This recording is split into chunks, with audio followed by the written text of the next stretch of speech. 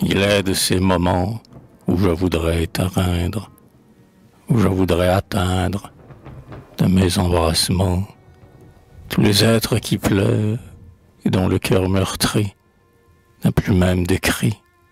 pour bénir ceux qui meurent. Je voudrais sur mon sein presser l'onde,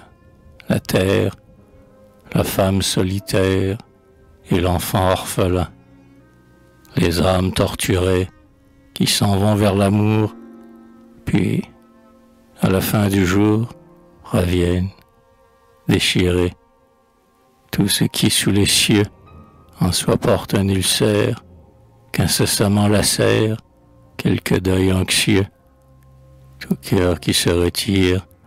pour pleurer en secret et dont nul ne connaît